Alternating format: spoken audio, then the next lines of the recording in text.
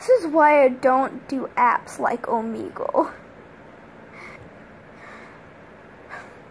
I have oh okay.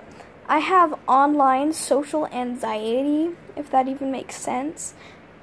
I I I'm basically an ex uh, an introvert when it comes to being online. Like I get That's a lot of damn. like I just get horrible anxiety, but I was just like, okay, well, I see my best friend doing this app, so I'm join the app.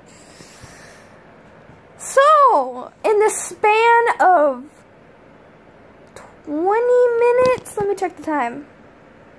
Correction! 10 minutes! I saw three dicks. That's a lot of damage. Shut up.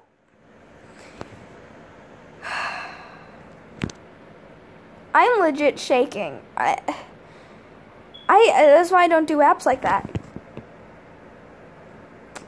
Like this one dude. He seemed very nice, right? Seemed so nice. And I was talking to him, and he's like, "Hey, you want to see my dick?" And I'm like, "No." And he said, Come on, just once. And I said, No, I don't like seeing guys' dicks. And he's like, Come on, just once. And I finally hung up on him, right? So he called me on the app. And I accidentally answered it. And his dick was in camera's view. I was like, I hung up.